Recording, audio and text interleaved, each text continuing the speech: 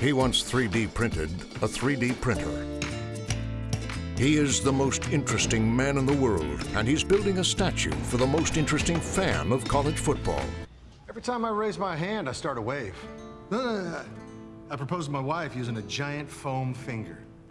Who's number one? This guy.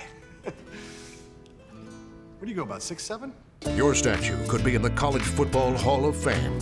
Stay thirsty, mis amigos.